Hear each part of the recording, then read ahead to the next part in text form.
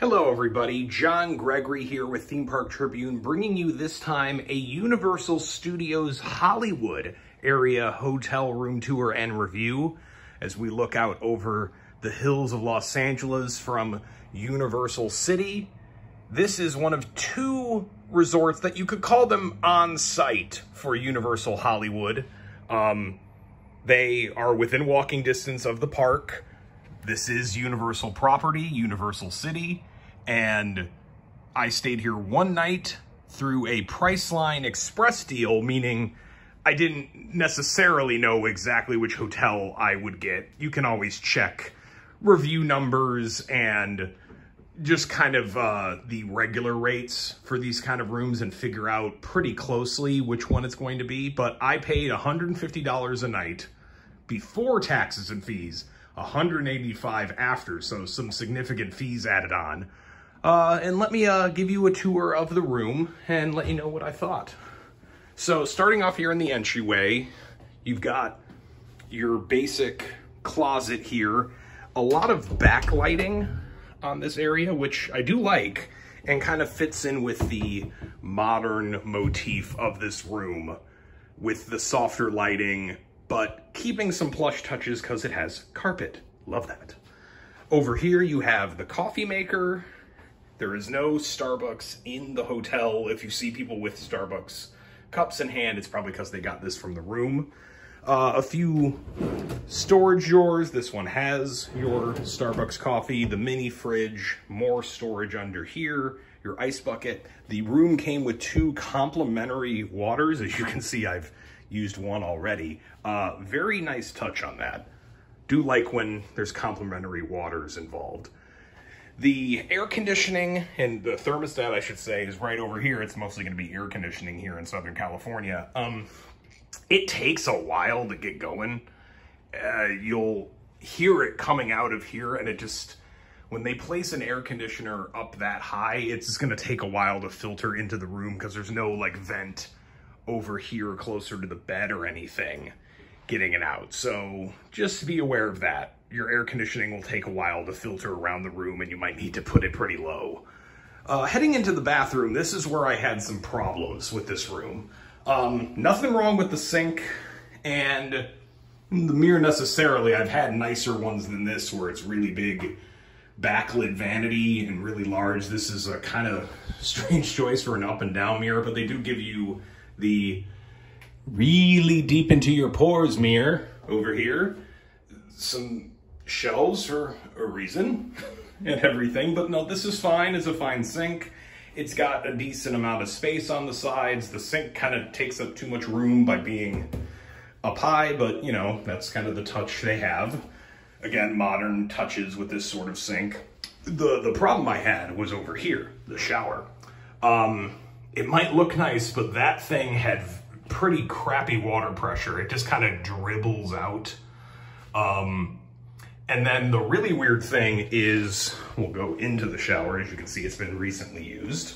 Uh, this, why would I want to stand on a grill while I shower?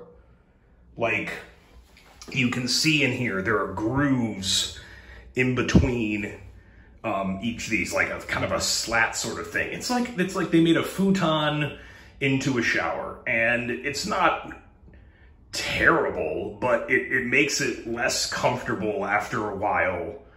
Or just you don't want to take a super long shower because it's like, hmm, that's not really super comfortable on my feet. Because I am not a waffle, sir. Uh, it's it's a strange design choice that kind of wrecks what is what should be a good feature of this of this hotel room and this hotel is having a pretty modern steamed up shower. It did steam up nicely. Uh, but water pressure kind of bad. The hose water pressure was out of that fine. It was the shower head that just kind of dribbled down. And then, you know, standing on the grill here. Um, strange choices, just gonna say that. Heading into the main room, now that I'm done harping on the bathroom, you have kind of a couch area built into the TV stand here, which is kind of nice. Uh, backlighting, which is strangely controlled with a light switch over there Um, in case you're wondering, and you're staying here and you're wondering, why is the room kind of dark? You can you know, add that as like a little bit of soft light. Um, and actually, haven't even turned on that one. And it didn't work. Hmm. you know, you learn some new things while doing the hotel room tour. Uh, yeah, so a nice little couch area here just for like sitting. I, I guess it's just a change of pace. I mean, it's nice that they're doing something a little bit more with this space. It's a little bit different than doing it with a dresser. Um, but if you want to, if you're the kind of person to put away your clothes while you're on vacation, you might be kind of upset that that's what they chose to do with the space rather than a traditional dresser, which might make more sense to some people. Uh, you have a rather large desk area. I think it's just because this hotel is catering more to working people who, who need to work while they're in hotel rooms that they eschew the dresser for a larger workspace. Um, nice chair, big table, um, kind of sharing some space with the end table over here. And then you have some nice touches of like artwork of universal history and filmmaking in general. Like this Back to the Future picture, these old pictures of Universal back, I'm assuming, back in the, you know, the 1910s, 1920s, when when the studio was just first getting started over here and took up residence here at, at, what is now Universal City.